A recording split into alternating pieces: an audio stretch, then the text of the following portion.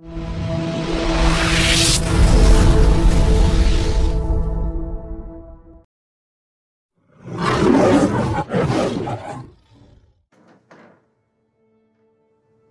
hast dir Zeit gelassen, Myrtle.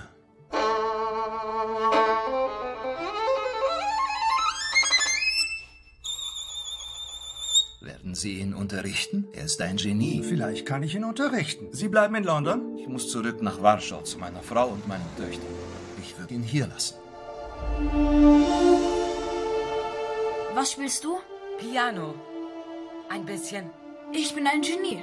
Ich helfe dir. Dann wirst du ein bisschen genial. Wir bilden ein gutes Team, ja? Dies ist eine Niccolo Galliano Filio. Alles Gute 1735. zur Bar Mitzwa, David. Nochmal. Das haben sie wahrscheinlich durchmachen müssen. Meine Eltern, meine Schwestern.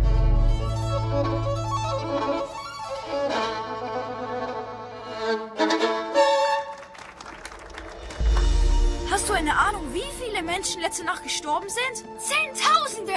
Und niemand kennt doch nur ihre Namen.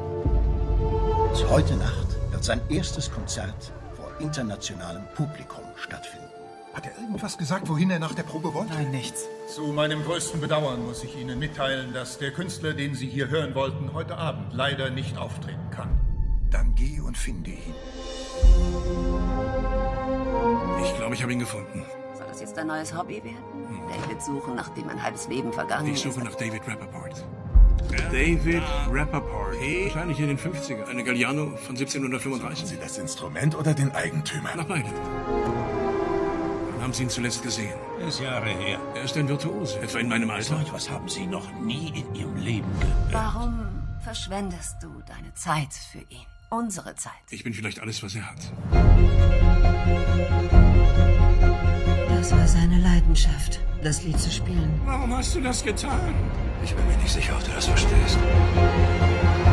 Äußerst unheimlich. Man muss nicht schuldig sein, um sich so zu fühlen.